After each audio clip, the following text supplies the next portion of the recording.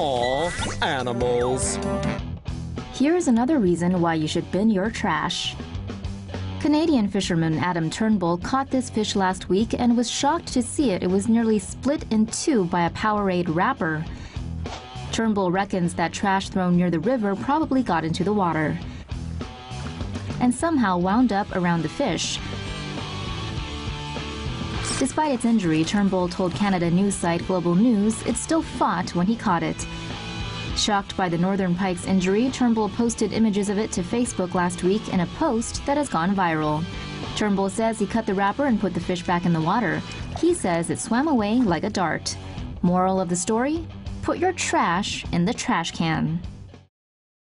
We're not finished yet. Underwater drone revolutionizes fishing. Technology company Power Vision has unveiled a drone that can help users see what's going on underwater and may increase efficiency in fishing. The Power Ray drone has an onboard camera and an optional add-on fish finder sonar. The devices can be used together or separately. The drone can dive to a depth of 98 feet, while the sonar can track fish about 131 feet below the drone. A blue tinted light is designed to lure fish, while a drop function allows the user to deliver the bait whenever he or she wants. Users can watch the footage captured by the drone via their cell phones, which allows them to better determine when to reel in the fish.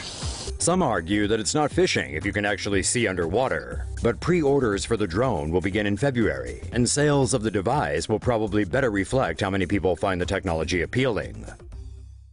Pretty soon, some sharks will have a Napoleon complex. Damn it, climate change! Climate change may actually be altering the size of the planet's fish. A recent study published in the journal Global Change Biology suggests that rising temperatures in oceans might be shrinking fish. Warmer waters mean less oxygen, something fish need to grow into adulthood.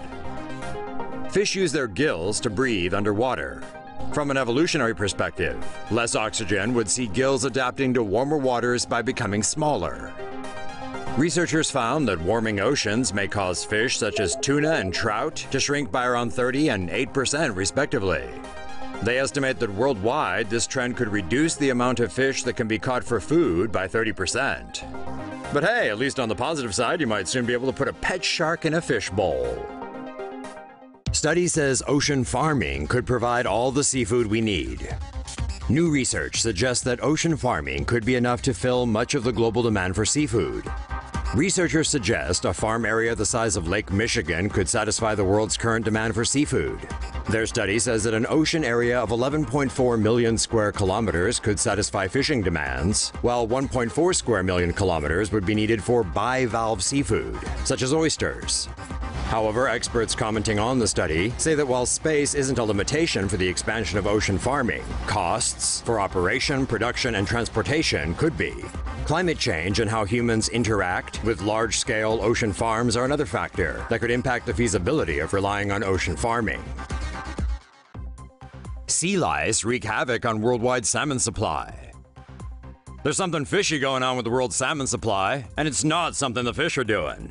According to the Associated Press, parasitic sea lice have infected salmon farms in Chile, the United States, Canada, Scotland, and Norway. Once a parasite infects the salmon, it becomes inedible. Previously, salmon were fed a pesticide to defend against the sea lice.